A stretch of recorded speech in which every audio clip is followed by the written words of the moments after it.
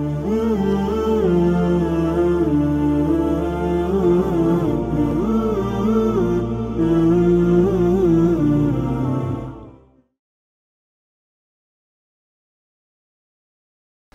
الله الرحمن الرحيم الحمد لله رب العالمين والصلاة والسلام على سيدنا ونبينا أبي القاسم المصطفى محمد. صلى الله عليه وعلى أهل بيته الطيبين الطاهرين. بل لعنة الله على أعدائهم أجمعين. من الآن إلى قيام يوم الدين. قال الله الحكيم القرآن الكريم. أعوذ بالله من الشيطان الرجيم. بسم الله الرحمن الرحيم. والعصر. إن الإنسان لفي خسر. إلا الذين آمنوا وعملوا الصالحات وتواصوا بالحق وتواصوا بالصبر. صدق الله العلي العظيم. Allah ibadet ve itaatlerimizi en güzel şekilde kabul buyursun. Tefekkuru saatin hayrun min ibadeti sittine sene. Bir saatlik tefekkür 60 yıllık ibadetten daha faziletlidir, daha üstündür. Geçen cumalarda huzurlarınıza tefekkürün faziletinden söz ettik. Hangi tefekkür bir yıllık, 60 yıllık ya da gece namazından daha faziletlidir? İnsanın kendi yaratılışında tefekkür etmesi, insanın yerin ve göğün yaratılışında tefekkür etmesi, üç, geçmiş ümmetlerin hakkında tefekkür. Keçmiş ümmətlərin ahvalatından xəbərdar olmaq, onların yaptıqlarını bilmək insanı sırat-ı müstakimə götürməkdədir. İnsanın hidayətinə, Allah'a ulaşmasında yardımcı olmaqdadır.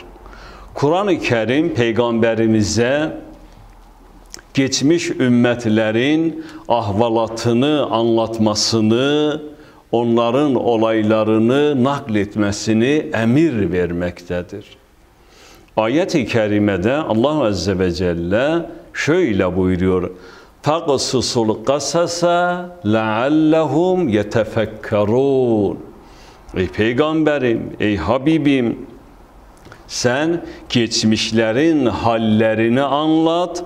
Onlar da belki iyice bir düşünürler Yani geçmiş ümmetleri anlat, onlar nerelerde hata ettiler, onlar niye helak oldular ya da ne yaptılar ki cennet ehli oldular, cennetle müjdelendiler. Ey Peygamberim sen geçmiş ümmetlerin ahvalatını onlara anlat, onlar tefekkür ederler. Yine Kur'an-ı Kerim'de Yüce Allah azgın ve günahkarları uyararak şöyle buyuruyor.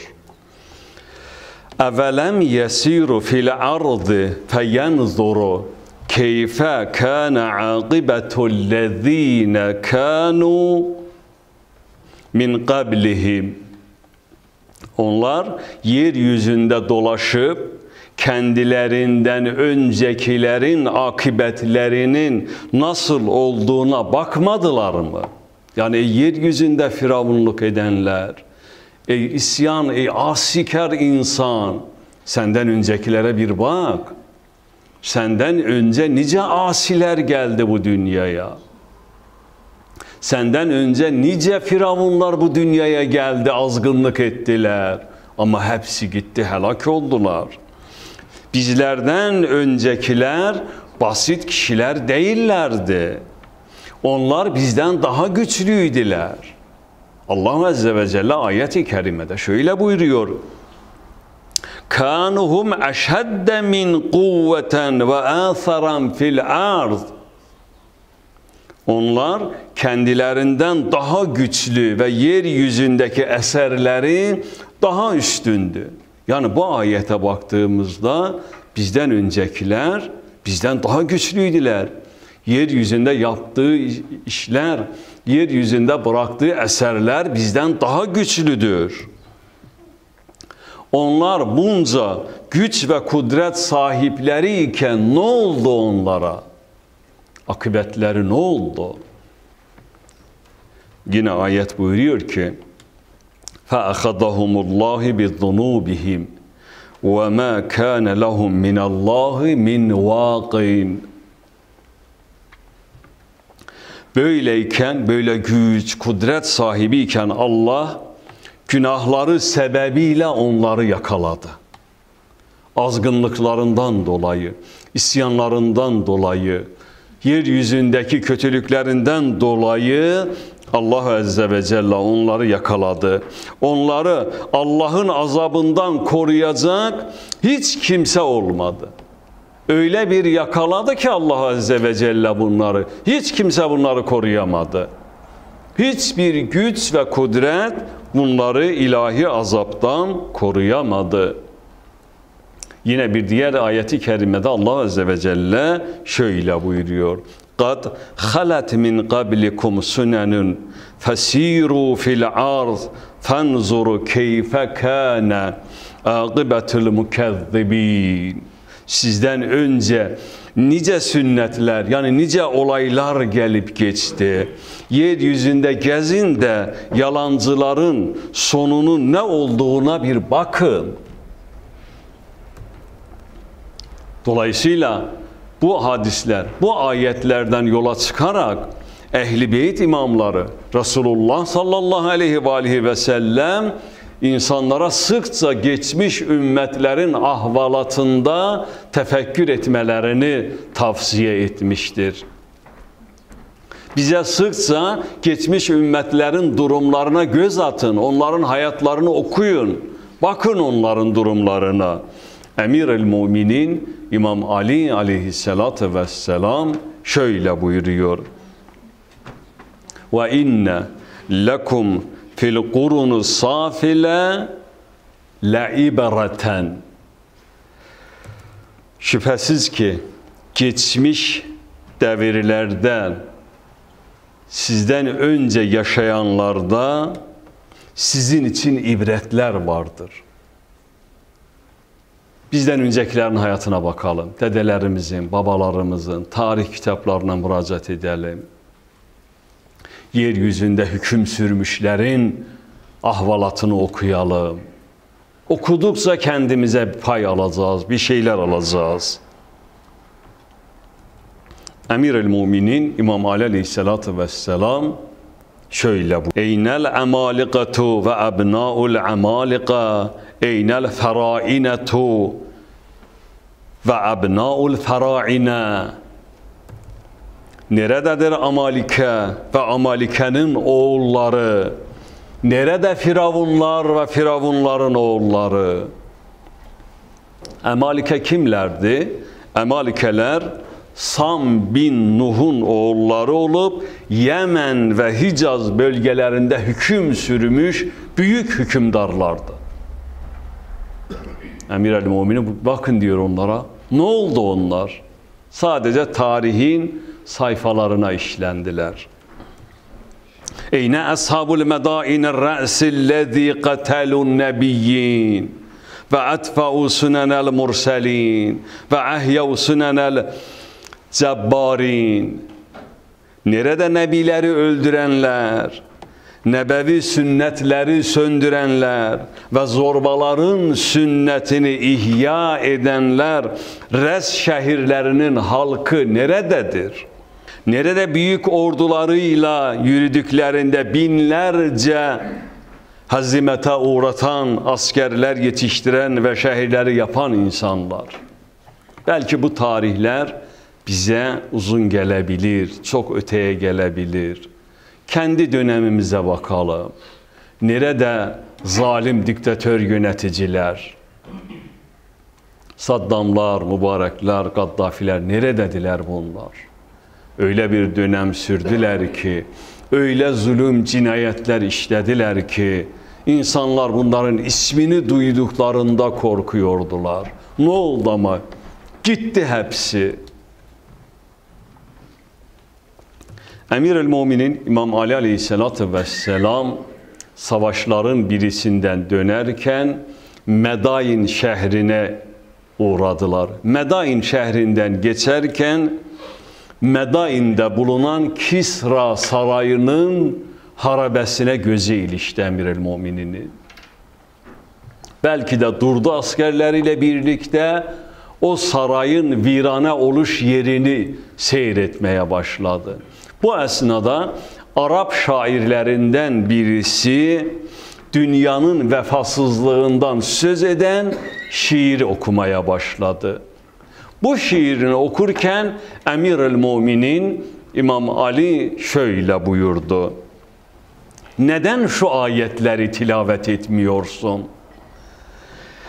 Kem tereku min cennetin ve uyun onlar geride nice bahçeler, nice pınarlar bıraktılar.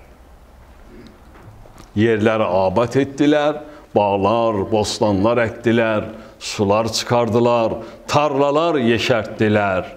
Bunu geride bıraktılar.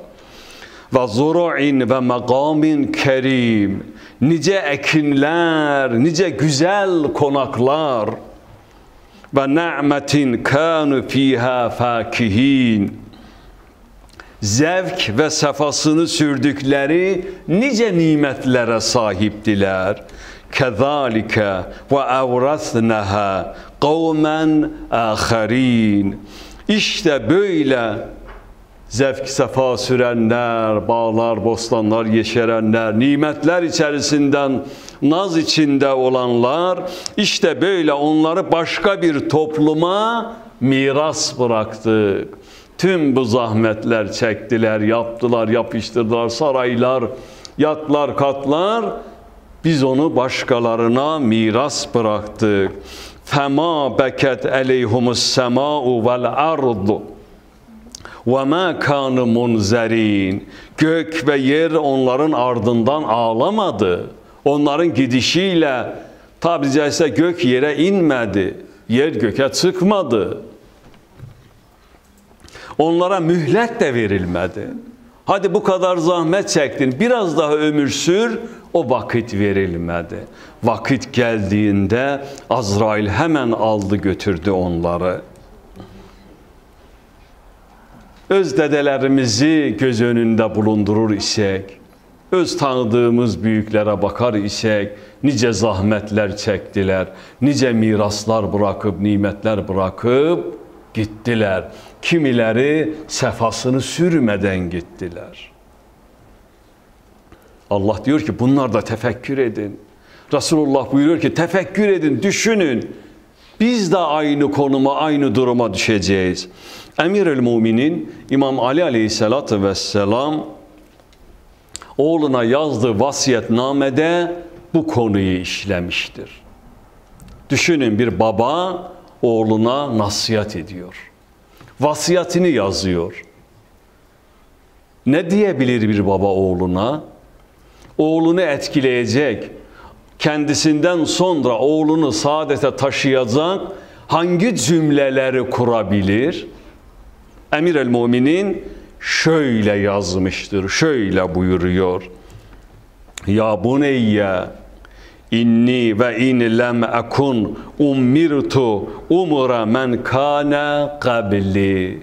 Ey yavrum, ey gözümün nuru, ben benden öncekiler gibi ömür sürmediysem de yani ben kendimden öncekiler gibi yaşamadıysam da onları görmesi görmedim ama fakat nezertu fi a'malihi ey yavrum onları görmedim ama onların yaptıklarına baktım.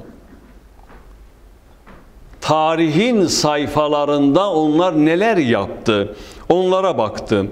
Ve fekkertu fe ahbarihim haberleri üzerinde düşündüm. Tefekkür ettim. Ve sirtu fi atharihim. Bıraktıkları eserleri gezdim. O viraneleri, o harabelerini gördüm. Hatta uttu ke ehedihim.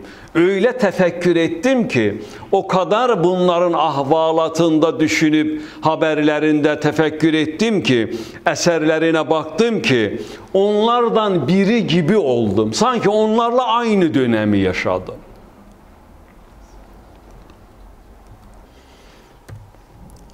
bel keenni biman taha ileyye men umurihim kad umirtu ma evvelahum ila ahirihi. Belki başlangıçtan sonuna kadar onlarla birlikte yaşamış gibi oldum. Ömürleri benimle sona ermiş gibi oldu. Ve devamında Emir el Muminin şöyle buyuruyor safını bulanığından, faydalısını zararlısından ayırdım. Tefekkür ediyoruz. Ne yapmamız gerekiyor? Ahvalatına baktık, haberlerine baktık, eserlerine baktık. Ne yapmamız gerekiyor? İyilerini kötülerinden ayırmamız gerekiyor onların yaptığı hataları yapmamaya gayret göstermemiz gerekiyor. Onların hayrat ve ihsanlarını, onları cennete götürecek amelleri yapmaya gayret göstermeliyiz. Her işin özünü ve muhimini onların senin için özetledim. Yani onların önemli işlerini, onların zararlı işlerini hepsini oğlum senin için özetledim. En güzelini seçtim onlardan.'' Bilinmeyenlerini ve şaşkınlığa sebep olacaklarını da senden uzaklaştırdım, uzak tuttum. Oğlunun işlerine bakan şefkatli bir baba gibi senin işlerine baktım. Değerli müminler, değerli kardeşlerim, Emir-el Mu'mininin oğluna bu vasiyeti, bu nasihat hakikatta bizim içindir bugün bize ulaştığı için biz Emir el Mu'mininin bu nasihatının muhatabıyız.